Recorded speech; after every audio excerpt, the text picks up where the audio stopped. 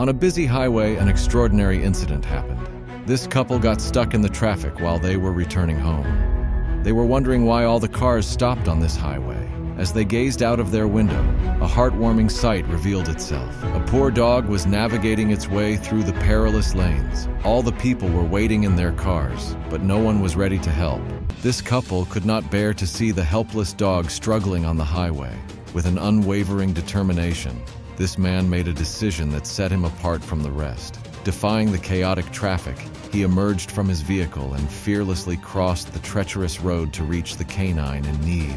With gentle strokes and soothing words, he reassured the trembling canine. After that, he scooped up the trembling creature into his protective arms and cautiously navigated their way back to safety. This couple's incredible act showcased a remarkable display of empathy and heroism.